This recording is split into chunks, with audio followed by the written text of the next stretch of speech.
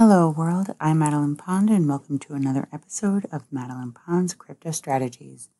Today is day 14 of her 100 day CoinPot challenge, and I'm just wanting to share with you my current information.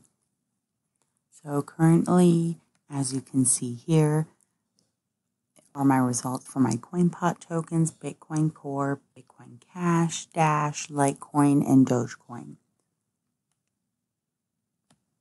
We're pressing on. Again, day 14 of 100. Some days, of course, are going to be better than others. Just keep on pushing so that way we can get to our next step in the strategy. If you haven't checked out the strategy yet, you can head on over to the website, Madeline Pond's Crypto Strategies. The website address is madelinepond.com. And here you can find all of my blog posts, some information about me. You can go back in the archives to see as far as the blog posts that were done in December. And you can catch up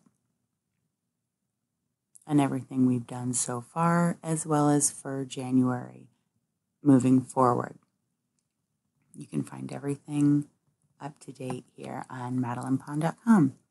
If you have any questions, please leave them in the comment section below or on madelinepond.com. I will get back to you as soon as possible. I'd love to hear some feedback to see how everybody else's 100 day CoinPot challenge is going.